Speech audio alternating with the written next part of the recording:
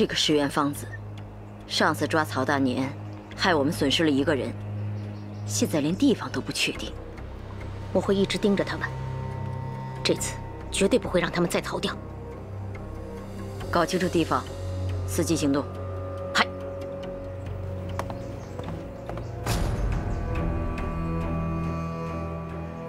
石原芳子，他可是最讨厌吃小笼包的。慧姐，嗯，就前面那家小笼包是最正宗的，带你去吃去啊。是吗？那我们赶紧去吧。走走走，快！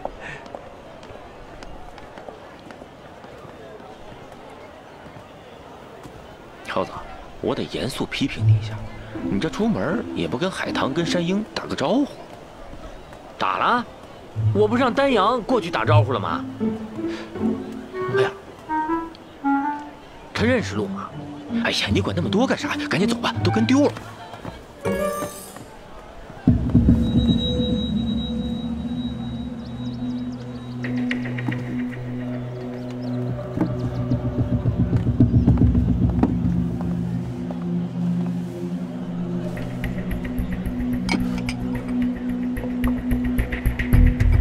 慧贤，快到了这儿，坐坐坐。这儿啊？哎，对。哎，老板，哎，给我来笼包子。好。嘿，这老曹还吃包子了，越吃越胖。这次胜券在握，吃包子了，噎死你！哎，来，曹大年，跟我们走一趟吧。你们这是干什么？起来！啊！坏了，是啊，曹大年被人劫持了，会不会是日本人？还愣着干什么呀？赶紧救他！慧贤，你别过来啊！大年，慧贤，没事，你不用过来。大年，没事的啊！快走！怎么回事？他们后面有尾巴。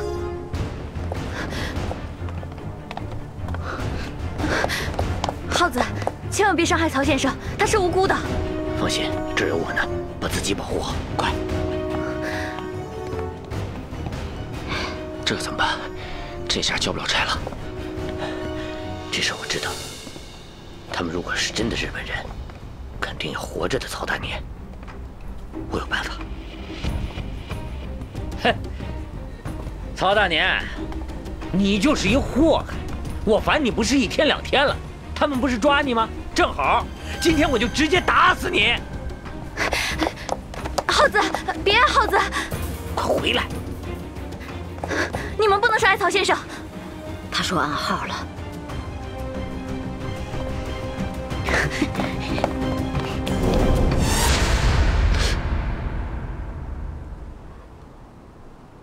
保全石原芳子，撤！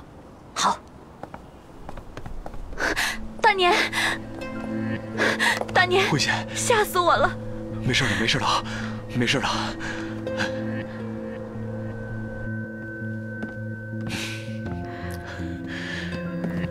曹先生，你这样私自行动，对你的安全非常不利。如果不是耗子他们，你早就被日本人抓走了。我前两次私自外出都安全，为什么这次暴露了呢？是因为你们大白天后边跟着大长尾巴，能不显眼吗？能不暴露吗？我们这样做，都是为了你的安全，请你不要再无理取闹了，好吗？我无理取闹啊？这是你们单方面的责任，还推到我头上，我要控诉你们！我们一起经历过生死，你现在还不能信任我们吗？我就是因为太信任你们了，才导致你们现在肆无忌惮。哼！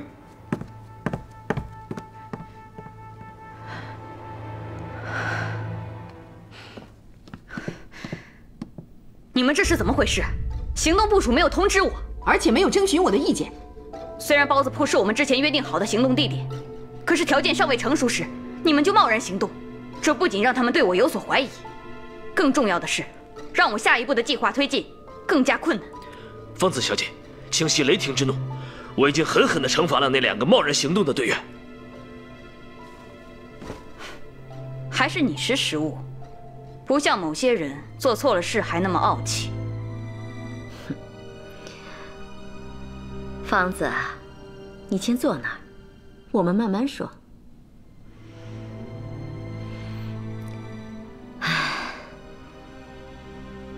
如果这次你不能帮我们抓住曹大年，竹野大佐是不会放过我们的。你还是管好你的手下吧，下次部署好了再行动。还有，不要派废物来干扰我，我石原芳子想做的事情还没有失败。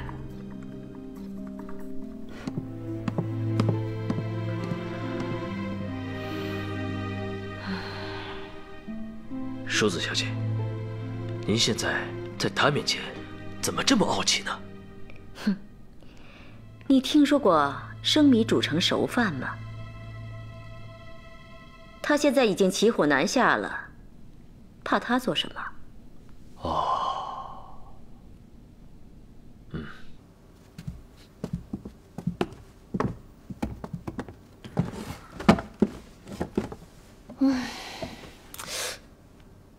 今天曹大年要出门，是不是那个慧贤在当中？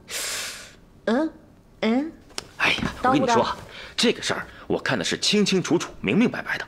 本来曹大年已经同意咱们跟这儿，结果就是那个慧贤从中挑唆，害得咱们被顶回来了。这么说，这个慧贤一定有问题。他今天的目的就是要把曹大年弄出去。哎呀，咱们知道有什么用啊？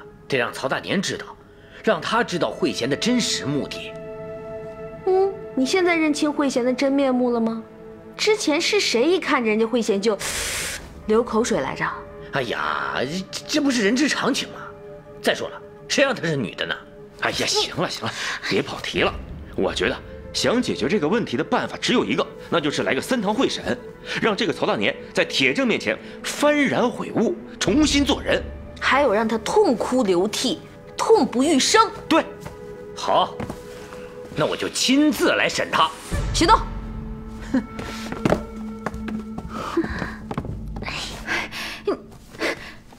你你们这是干什么？啊，是不是有什么误会啊？我跟你们说啊，你们这样做，曹先生会很伤心的。这里是曹府，你们这样做对得起曹先生吗？伤他心还伤我心呢。不过一码归一码。你把问题交代清楚，我们就放你回去。我告诉你啊，你要是敬酒不吃吃罚酒的话，那就别怪我们不客气。呃，我说两句啊，曹大年喜欢你是没错，可是我们不喜欢你啊。所以呢，你要想活命的话，哼，你就乖乖的说实话。姐姐我这个人呢，脾气不太好，容易搂不住啊。你们让我说什么呀？嗯，不说是吧？这可是你逼的。行，师兄，脱袜子，塞他嘴里，让你不说。哎，你们干什么？大年，哎哎，你们这是要杀人吗？大年，你们这是非法囚禁，知不知道？你们太让我失望了，你们。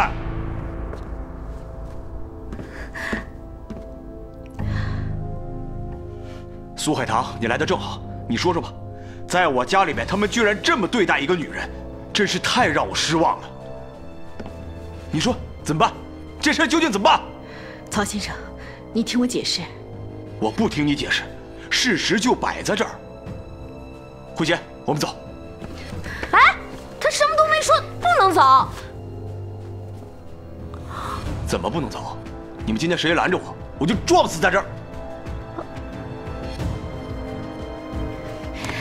走，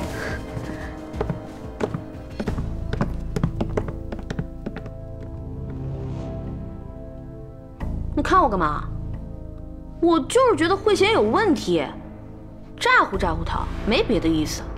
不管慧贤有没有问题，你们这么做都是不对的，真是太让曹先生失望了。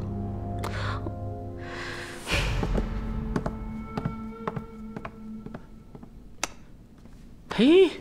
我刚才绑的挺紧的呀，你是不是因为喜欢他才故意下手轻的？胡说！耗子，我不是让你叫海棠拖住曹大年的吗？他怎么过来了？啊，我跟海棠说了。不是他这话你没法明说呀，啊，他那性格你又不是不知道，我就说了，咱们想找那个慧贤谈谈心，磨合磨合感情，啊。谁知道成这样了？糊涂。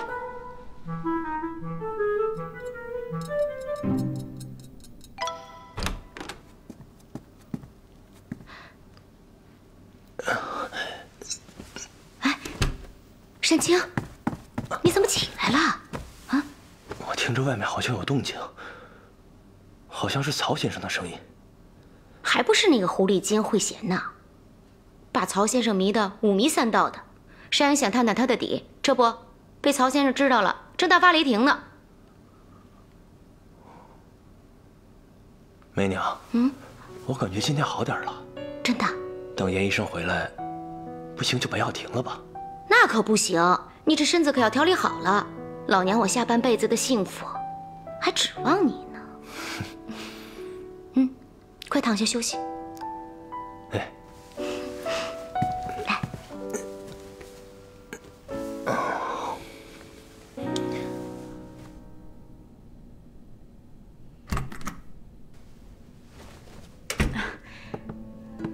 年，你先坐下休息一会儿吧。好，好，好。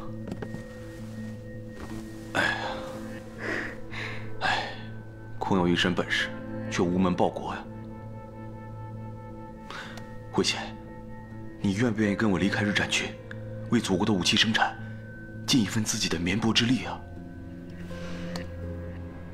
大年，我一定会帮你完成这个心愿的。可是，现在他们的实力这么大，我们被两方面人夹击，一方面是日本人，另一方面是军统的那些人。而且军统在上海的实力又不可小视。那你的意思就是，我们困在这儿出不去了？我倒是有一个办法。什么办法？只要你按照我的要求去做，就一定可以成功的。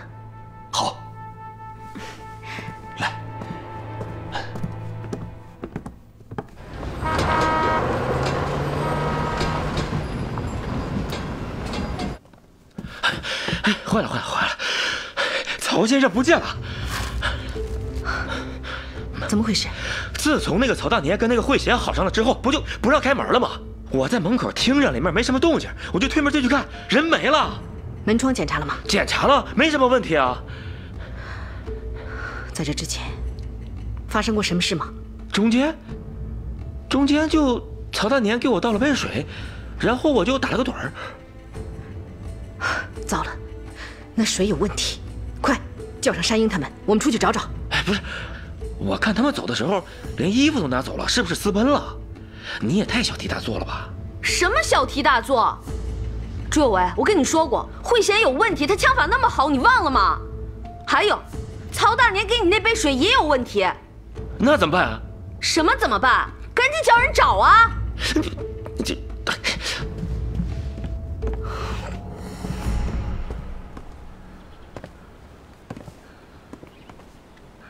你说的情况，我大概知道了。目前，你们的处境可能很危险。你说的这个人，特别像之前上海同志遇到的劲敌——日本的高级特工石原芳子。你的意思是，张慧贤就是石原芳子？嗯。如果他真的是石原芳子，那曹大年的处境就非常危险了。所以，你现在必须马上回去商量对策，扭转被动局面。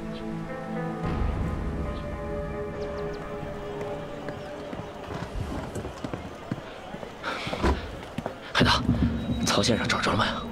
还没有。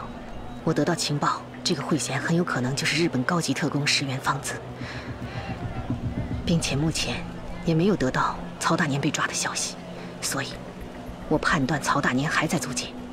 这，那咱们接下来怎么办？啊不是，你这说了不也是白说吗？这上海这么大，咱们怎么找不都是海底捞针啊？慧贤。真被你说中了，他们都离开了。你真是料事如神呐！一杯水、几件衣服就把他们骗过去了，你太厉害了。我们还不能掉以轻心。对，你说的是。以后啊，一切都听你的。慧贤，你知道吗？你就是我的贵人，认识你，是我一生最大的幸福。哎，我要是慧贤，我就觉得曹府是最安全的。你们想啊，咱们满世界的在找他们，啊，那曹府就空了，他们又出不了上海，他肯定要回曹府，再让日本人去抓他，十拿九稳，啊。啊，我就这么一说，你们就随便一听吧。哎，不是不是不是不是，你这思路是对的。哎，这应该是海棠想出来的办法，怎么让你给说出来了？抢功也不能这么抢啊！哎，是吧，海棠？也没有什么抢不抢功的。耗子能成长，我感到非常欣慰。走，咱们回曹府。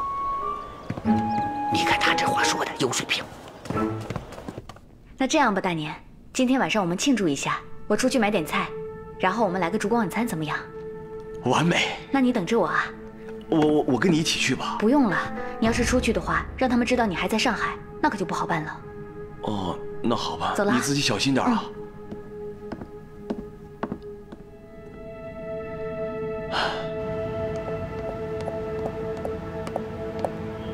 现在已经管不了是不是在租界了。山鹰战队正在外面寻找曹大年，这是一个千载难逢的好机会。我必须马上通知大英叔子。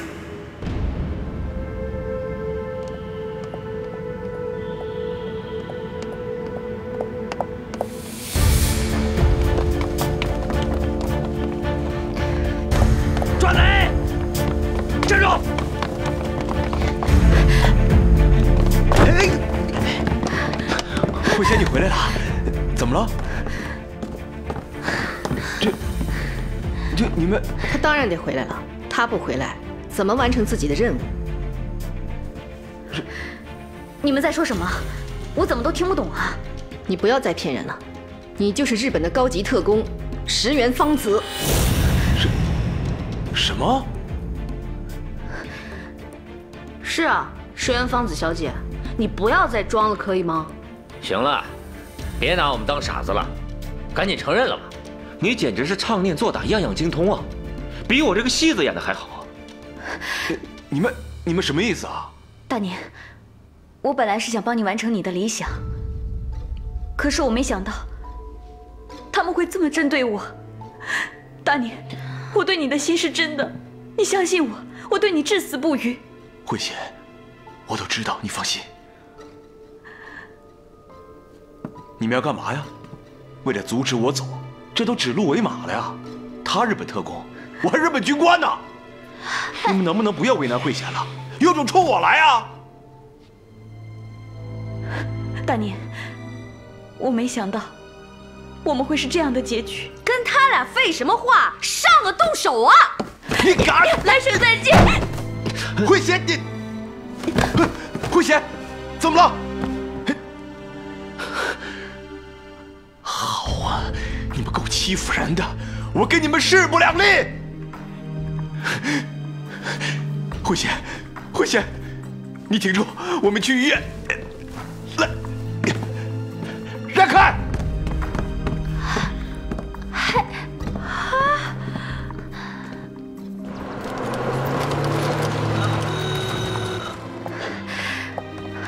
哎，怎么了？又又疼了？大年，我没事儿。没事儿，马上就到圣彼得堡医院了。我约了个脑科大夫，他是我朋友，他认识杜先生。杜先生可厉害了，日本人和国民党都给他面子，他已经把我们都安顿好了，会让我们顺利离开上海的啊！快，杜先生啊，走。大年，你看这样好吧？我有个朋友在上海，而且他会保证我们的安全，要不然……哎呀，你别啰嗦了，你要去医院看病的，听我的啊！快，赶紧。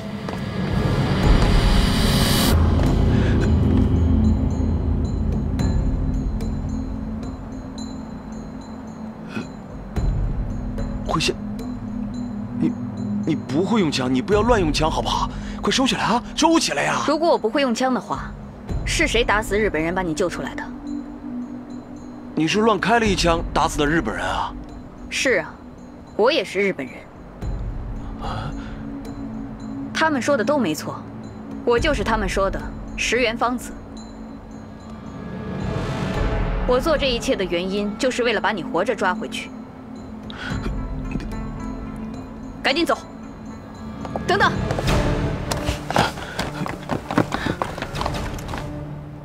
你们赶紧退下，否则我一枪毙了他。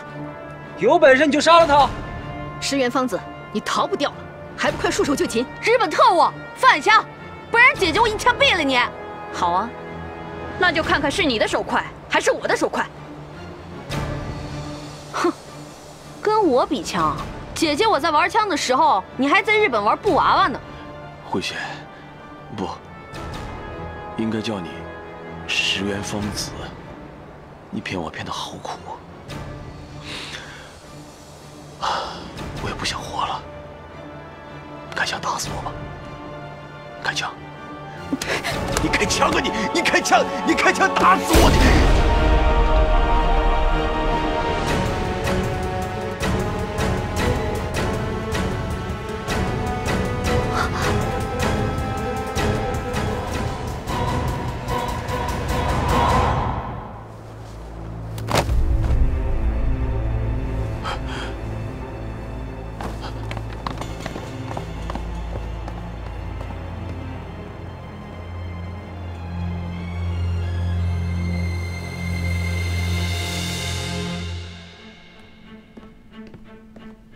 淑子小姐，据可靠消息，石原芳子小姐为大日本帝国殉职了。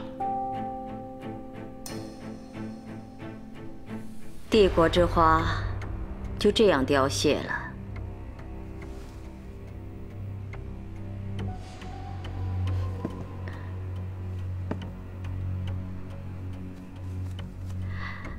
真是可惜。没想到野山鹰和苏海棠这么快就识破了石原。没办法，我们只能强攻了。但在强攻之前，我们要先得到法国领事馆的批文，以搜查的名义进去。否则引起外交纠纷，就不是你我能承担得起的。嘿，我这就去办。等一下，曹府那边还得派人盯着。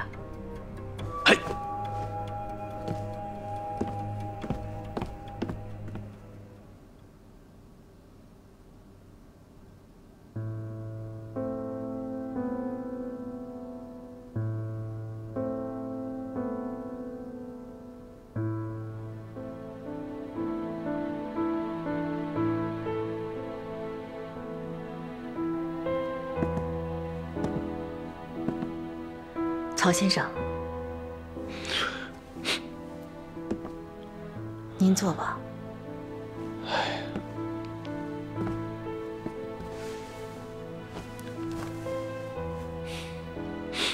你也别太难过了，你应该看出来了，他就是一只披着羊皮的狼。这羊皮太漂亮，温柔贤惠、知书达理，我是真心想跟他过一辈子。这也不能怪你，知人知面不知心，只怪他伪装的太好了。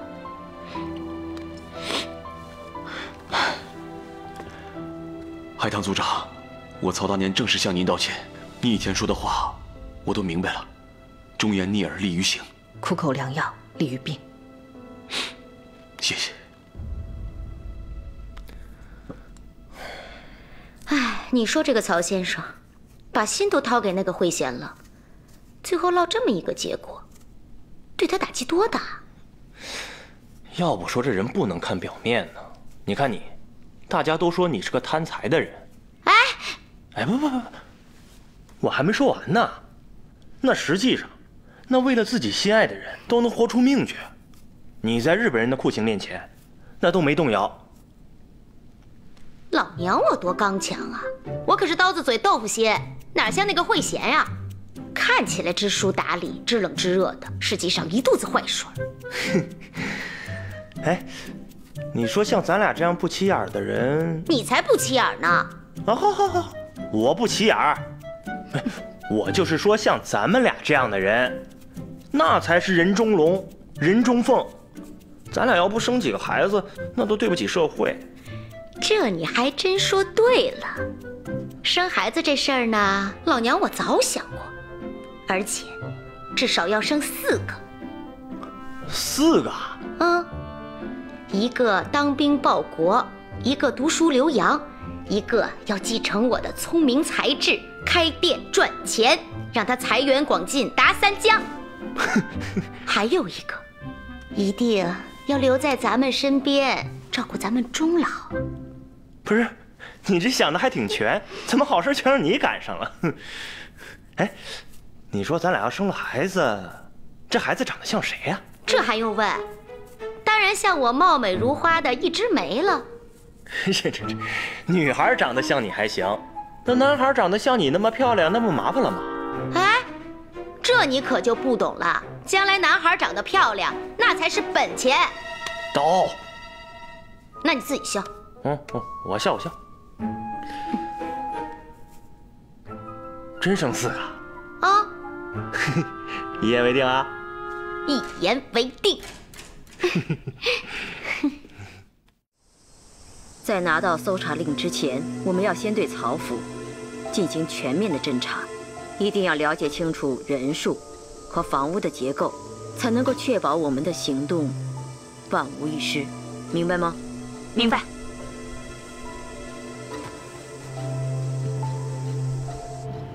淑子小姐命令，要紧盯这栋宅子，出来多少人你都给我记住了。给你两天时间，还弄不清楚吗？知道了。山鹰，你看门外那辆黄包车，停了那么长时间，也没见他拉什么货。你是说那辆车有问题？这还不简单，你让耗子出去，看看虚实，看看他究竟有没有问题。你在这听着。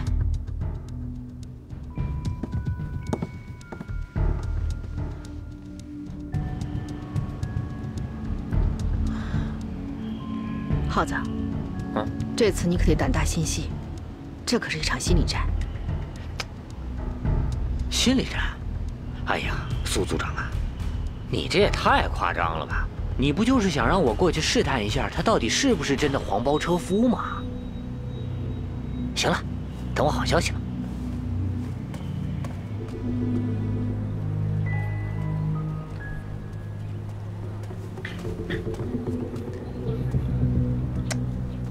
哎呀，哎哎哎，来来，过来过来。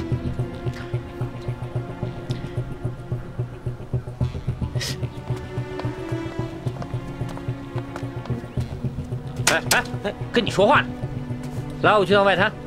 小兄弟，话可不能这么说。就你这打扮，这车你坐得起吗？嘿，我这打扮怎么了？你那眼干什么使啊？你没看见我从哪儿出来的吗？我告诉你一句话：人不可貌相，海水不可斗量。你当我稀罕坐你这破车？老子叫了一辆洋车，洋汽车，路上坏了，我现在有急事儿，去趟外滩，赶紧的，别废话，走。那得看你出得起钱不？这一去至少十里地，一个大洋，一个大洋啊！嘿，哎呀，你可真敢要啊！你知道我找辆洋汽车才几个子儿吗？哎，行行行行行，谁让我有急事呢？一个大洋给你了，赶紧走吧，走。那你认识去外滩的路吗？你是拉车的吗？外滩你都不认识，我认识，叫你干嘛呀？那不行，我不认识路，这活儿我还是接不了。行，我不做了啊！我等着我的洋汽车。什么玩意儿？你这是？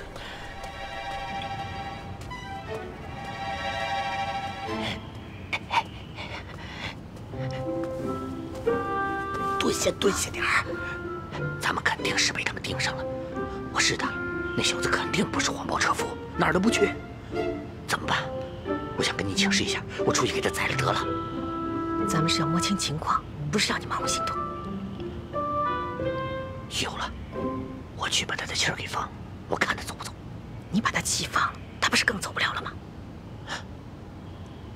海棠，你说我是不是傻呀？对呀，把气儿给他放了，车怎么走啊？那怎么办呀？咱们现在回去，就当什么事都没发生。一会儿记得告诉大家，千万不要出来，不能让他们知道我们到底有多少人。行，你也跟他们说，啊可得把我保护好了。这小子见了我的真容了，这正好。嗯？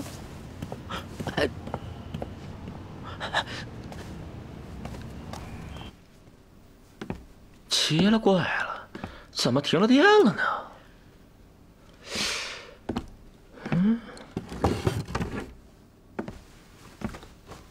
哎呀，我们这刚断电，你们就来了。哦，速度够快的呀。是啊，里边请，里边请。好好。你说你这里三层外三层转了三圈了，才把问题找到，是不是很难修啊？不好修。啊啊！没事，辛苦了啊！啊，没事。哎，我送送你，送送你。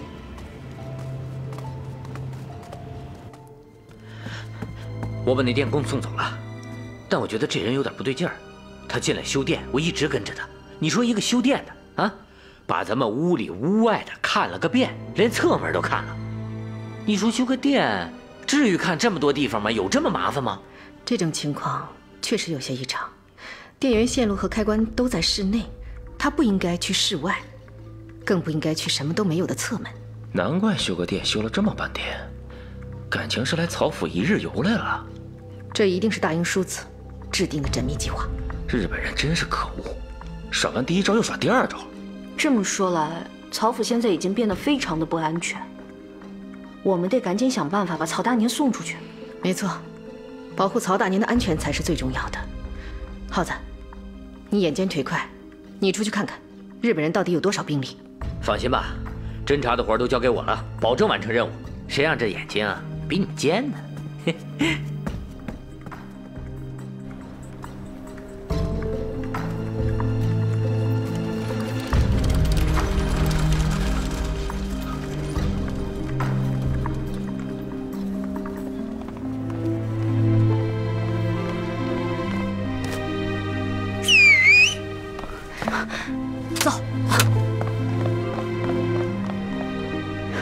小姐为什么要把我们叫回来？如果你们现在动手，就会提高敌人的戒备等级，这样不利于我们下一步的行动。可是敌人已经知道我们在监视他们了。监视和行动是两个概念，我们要做到不动则已，一动，便以雷霆万钧之势，让敌人猝不及防，明白吗？明白。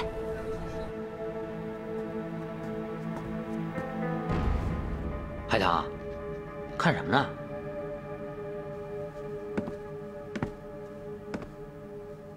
耗子，嗯，情况怎么样？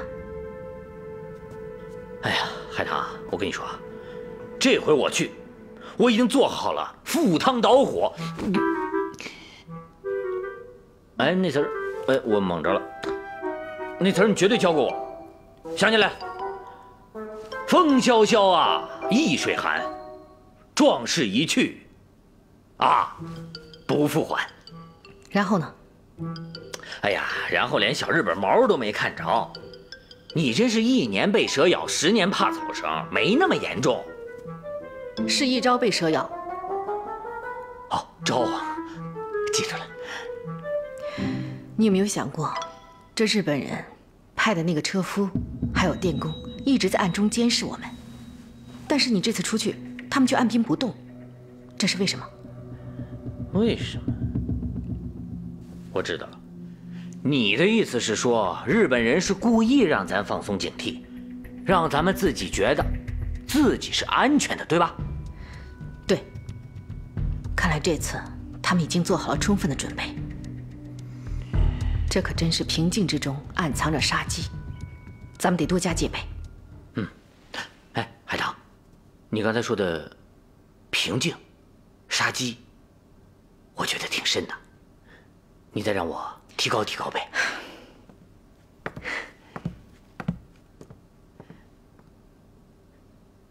一朝被蛇咬，哦，招。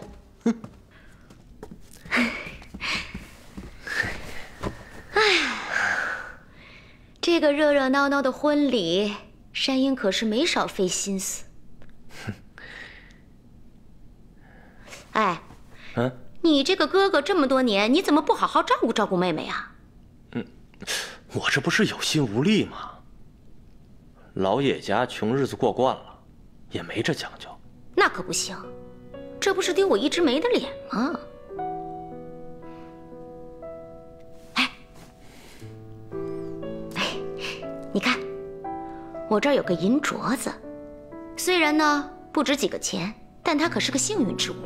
我是戴上它之后，才遇到你的，所以我决定把她送给山鹰，早日嫁一个好人家。送给山鹰？啊？梅娘，嗯，我叶山青这辈子娶到像你这样的老婆，也算此生无憾了。那是。俗话说得好，长嫂为母。我这个嫂子不为他操心，谁还为他操心呢？哎呀，话说回来啊，想想山鹰这个孩子也够可怜的，从小呢，爹娘走得早，你这个当哥哥的又不在身边。不过，你放心吧，我这个嫂子以后肯定会把他照顾得妥妥当当的。又当嫂子又当娘的，真是难为你了。老娘我愿意。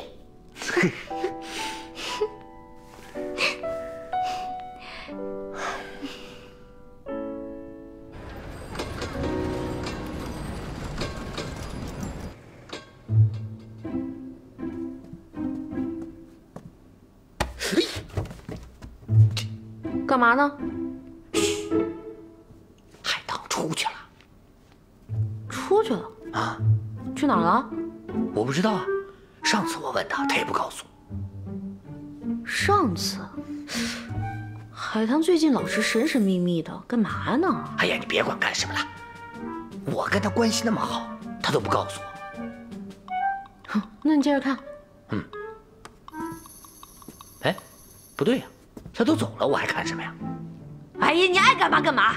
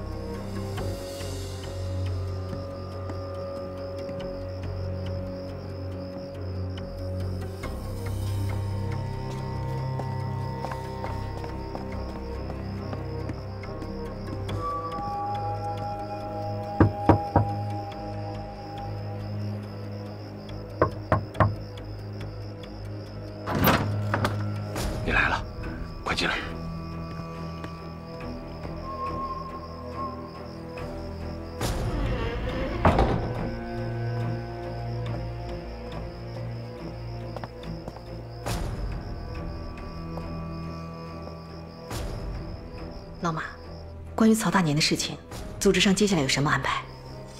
曹大年现在怎么样？曹大年现在人在曹府，应该没有什么问题。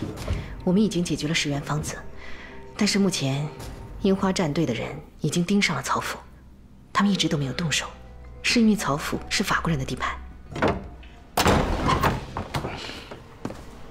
苏海棠，我刚刚听见了，你是不是要把曹大年送到国军那边去？你说话呀！他是谁？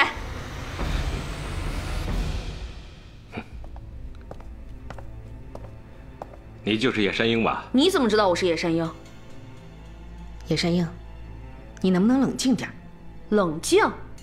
苏海棠，我每次跟你说曹大年，你都不正面回答我，言辞闪烁，你到底什么意思啊？你什么意思？啊你要是不相信我，你就开枪吧。苏海棠，你知道。我野山鹰不可能对你开枪，但是对他可以。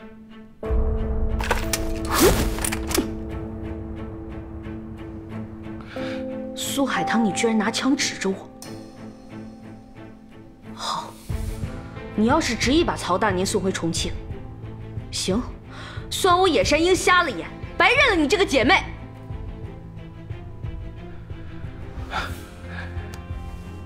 野山鹰同志，同志，谁是你同志？我是应该叫你同志，而且苏海棠也应该叫你同志才对。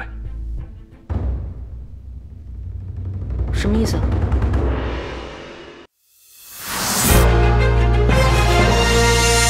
天真的微笑被狼烟吞没，英勇的梦想变成一把战火，捍卫我的国，让生命宛如歌，无愧于心，献上一世承诺。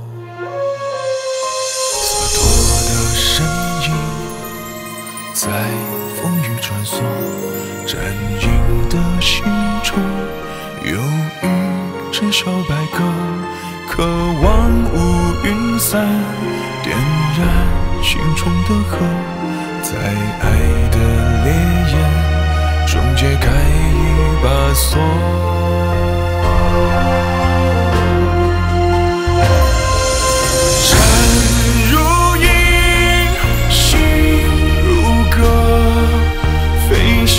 翔在